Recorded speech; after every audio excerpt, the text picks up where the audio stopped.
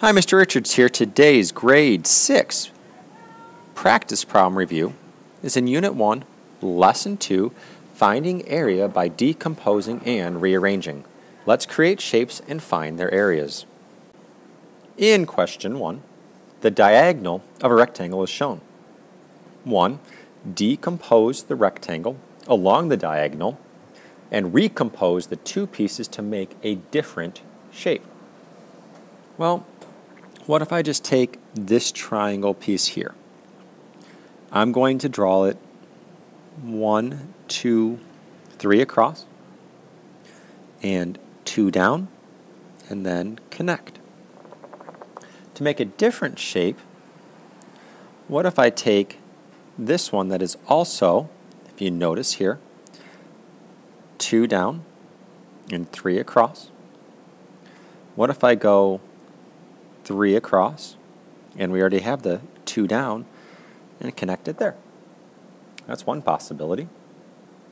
Or, if we start again with our three across and two down, we could just use the two down and come three across this way and draw in like a parallelogram. And there are a lot of different options. But when we look at how does the area of this new shape compare to the area of the original rectangle, the areas are the same. So the areas are all the same.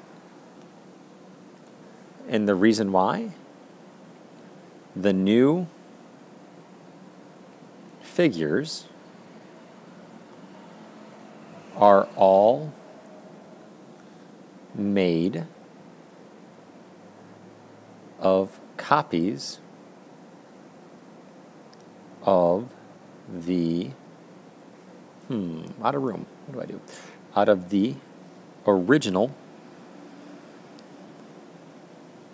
two triangles.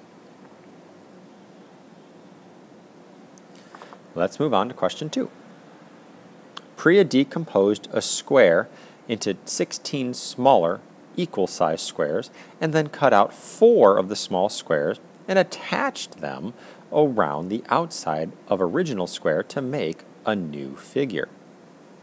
How does the area of her new figure compare with that of the original figure? We have a multiple choice question here. So either A, the area of the new figure is greater, B, the two figures have the same area. C, the area of the original square is greater. Or D, we don't know because neither the side length nor the area of the original square is known. Well, that's not it. It's going to be B. The figures, two figures have exactly the same area. You can literally count here. 1, 2, 3, 4, 5, 6, 7, 8, 9, 10, 11, 12, 13, 14, 15, 16. It has an area of 16 square units. What about the next one? 1, 2, 3, 4. That's hard to see. Let me change that color. Sorry. 1, 2, 3, 4, 5, 6, 7, 8, 9, 10, 11, 12, and then the 4 that got moved. 13, 14, 15, 16. They both have an area of 16 square units. Let's continue on to question 3. The area of the square is 1 square unit. Two small triangles can be put together to make a square or to make a medium triangle. Which figure also has an area of one and a half units, one and a half square units, I'm sorry. Select all that apply. So some different options here. Um, two smalls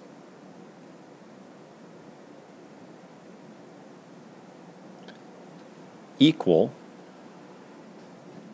one square unit. So that would then mean that three smalls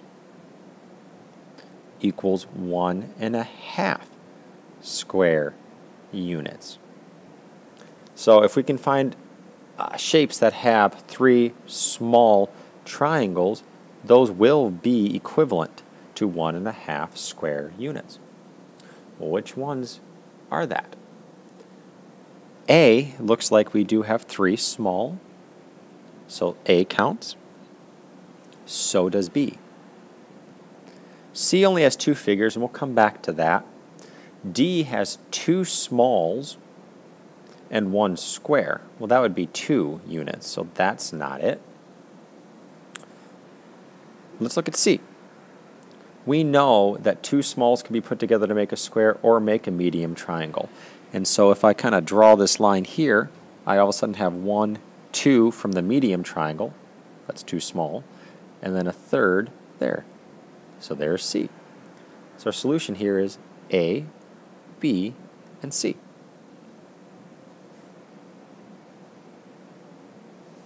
Not sure where figure E is there, but oh well. Four, the length of a rectangular, or I'm sorry, the area of a rectangular Oh, the area of a rectangular playground is 78 square meters. If the length of the playground is 13 meters, what is its width? Well, I'm going to draw a rectangle.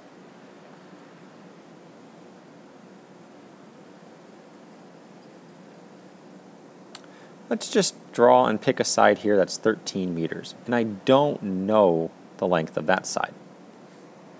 Well, normally, when I find area, I multiply the two sides together, 13 times whatever that side is, and that gets my area, in this case, of 78.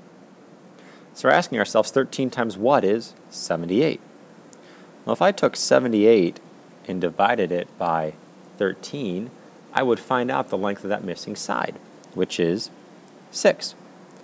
So 6 meters is that missing side. 6 meters is my width, because 6 times 13 is 78.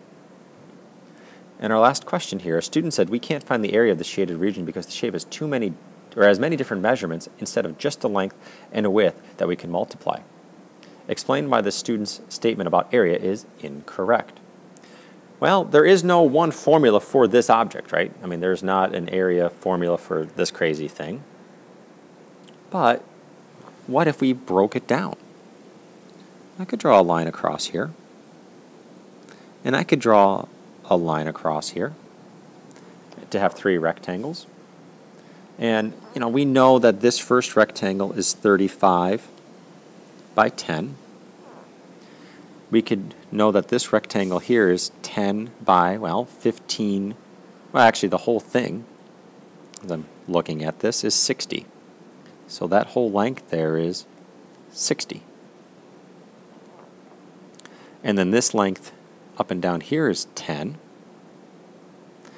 If the whole length is 60, as we talked about previously, and this piece of it here is 15, up until this point, if I were to take 60 minus 15, I would get 45 for this part on the right.